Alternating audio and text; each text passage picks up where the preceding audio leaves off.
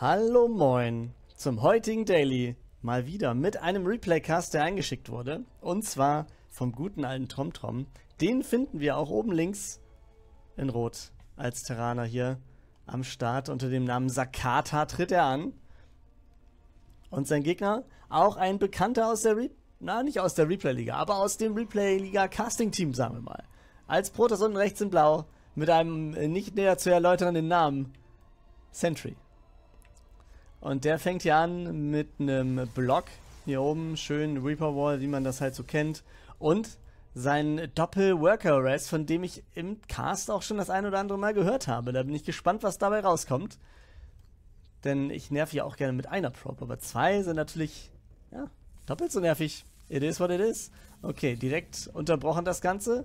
Das ist natürlich schon ein ordentlicher Delay, der hier reinkommt. Ein Worker wird draufgeschickt, damit weitergebaut wird. Ein zweiter wird auf zwei Worker geschickt. Das ist natürlich wild.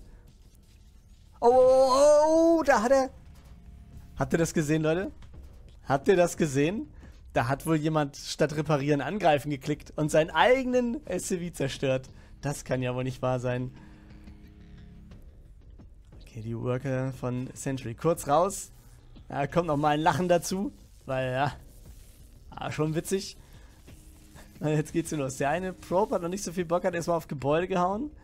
Und jetzt wird hier weiter rumgelötet. Die Barracks wird hoffentlich jetzt gleich fertig. Oh, hier nochmal gerade gerettet in den Baumodus. Aber da kommt der zweite Worker gerade noch so weg. Eieieiei. Okay, da ist er erstmal safe. Wird aber nicht repariert. Die Worker gehen einfach dran und killen ihn auch noch. Sentry hier mit dem Worker Harassment auf jeden Fall am Start. Mittlerweile mit vier Workern Vorsprung. Und da kommt der Recall. Weil er natürlich weiß, alles klar, da kommt gleich irgendwas raus. Und deswegen ist das Ding hier ganz, ganz smart, die beiden rauszuholen. Ne? Kommt sowieso nicht mehr durch die Depots durch. Uh, Reaper ist jetzt draußen. Factory wird gesetzt bei TomTom. Auf der anderen Seite haben wir den Reaper Warloff hier. Eine zweite, ein zweites Gateway ist da. Der Nexus steht oder ist auf jeden Fall gesetzt. Und ein kleiner Supply-Block bei Sentry. Haben wir da ein bisschen zu viel Worker Harassment betrieben? Kann ja wohl nicht wahr sein. Aber ist auch schon ein Adept unterwegs, der natürlich hier gleich gegen den Reaper sein Ding machen soll.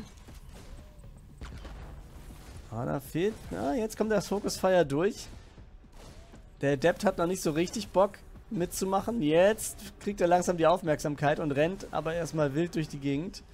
Ah, okay. Aber da sollte der Reaper noch gut rauskommen.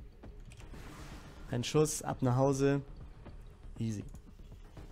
In der Zwischenzeit TromTrom, ja, hat einen Tech Lab an der Factory, hat den Starport unterwegs, hat auch schon einen Bunker gebaut, falls da irgendein Push oder sowas kommt. Gehen wir den Reaper gleich nochmal rein. Der Nexus gleich fertig, das kann er dann auch scouten. Zwei Adepts.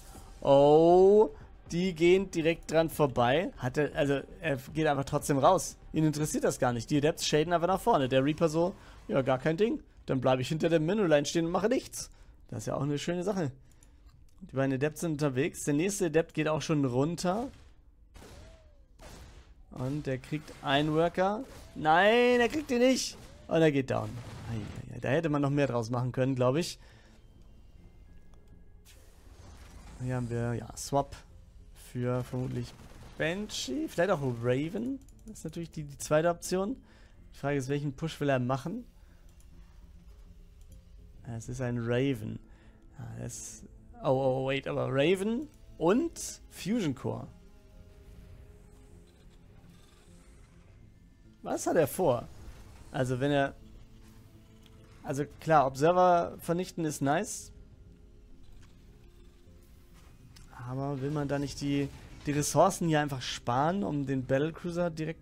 Oder, ja, direkt, von wegen direkt Battlecruiser. Passt ja alles von der Buildorder. Was habe ich gesagt? TromTroms Buildorder, einfach perfekt. Ja, die geht ja einfach komplett durch und hat auf jeden Fall auch schon das Gas für die nächste Runde am Start. Der Raven geht direkt zum Harassment. Während ein Worker noch hier steht. Die Worker Count ist schon, ist schon für Sentry sehr, sehr gut, muss man sagen. Mit 38 gegen 22, damit kann man arbeiten als Protoss. Das gefällt. Das wird auch schwierig mit Harassment reinzuholen sein. Aber immerhin ist ein Darkshren unterwegs. Und ein Raven ist da. Zumindest in der Theorie. Oh nee, auch in der Praxis. Aber die Frage ist, bringt es TromTrom etwas, wenn der Raven hier ist und die DT ist eventuell auf der anderen Seite? Das ist vielleicht dann die, die Theorie, die dazu kommt.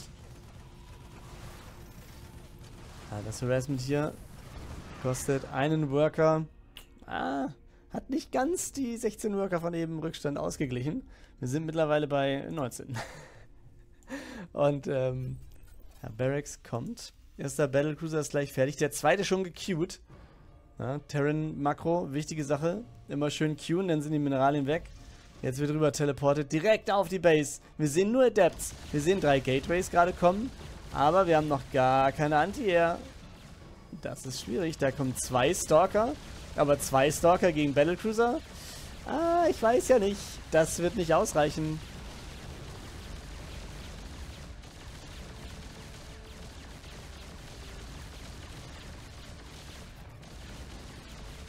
Da geht's einfach drauf.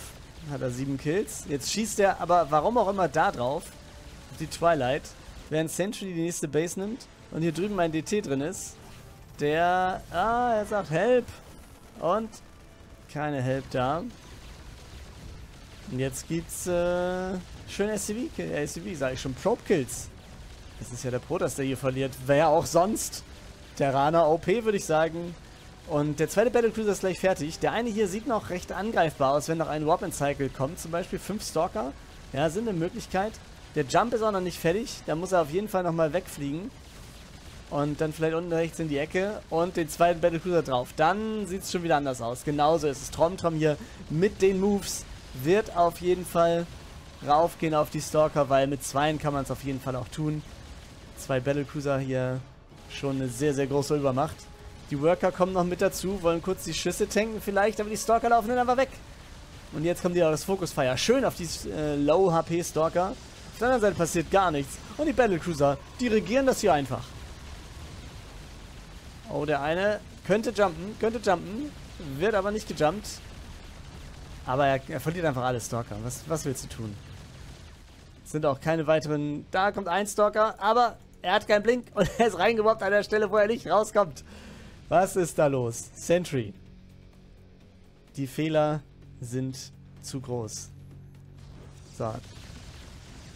Da ist der Stalker gerecalled worden. Auch eine Möglichkeit. Äh, aber wir sehen, ja, das nächste Gateway, also die Gateways an sich, werden hier das Problem haben, dass sie wahrscheinlich gar nicht gepowert werden. Wir haben zwei Stalker noch übrig, einer schon wieder rausgenommen. Der nächste Pylon wird fertig, aber wird nicht genutzt. Die nächsten Worker werden fallen. Der nächste Battlecruiser ist auch in Kürze fertig und wir sehen den Counterattack. Jede Menge Adepts sind auf dem Weg rüber. Aber was bringt es? Was bringt es? Der Battlecruiser hier hat schon wieder einen Recall, also Recall, einen Jump wie auch immer, Tactical Jump heißt es, glaube ich, offiziell. Ähm, damit kann man ja schon mal arbeiten, wenn es darum geht, nach Hause zu kommen. Und jetzt geht es hier einfach nur auf die Pylons und der Battlecruiser springt rüber, auf den anderen drauf. Der andere springt zurück nach Hause, oder? Ne, er springt... Wait, wo ist er denn hin?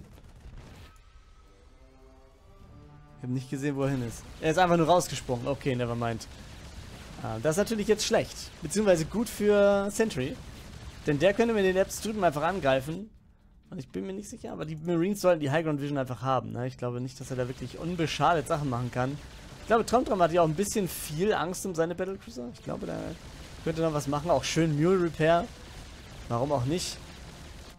Worker Count mittlerweile ausgeglichen, ne? 19, 18. Das ist schon mal ganz nice. Für TromTrom wieder.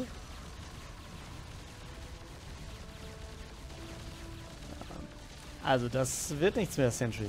Das kannst du knicken. Jetzt versucht er es drüben. Da sind aber, wie gesagt, ja, der Bunker hat die Range. Sobald du High Ground Vision hast, stehst du halt im Bunker. Da wird repariert, was das Zeug hält. Und selbst wenn nicht, die drei Adepts, die zwei Adepts, der eine Adept, das wäre easy peasy zu handeln. Tactical Jump auch jetzt wieder verfügbar, also die Möglichkeit zurückzugehen, im Zweifel, wenn es nötig ist, ist da und es kommt das GG Well Played. Der Sieger heißt TromTrom.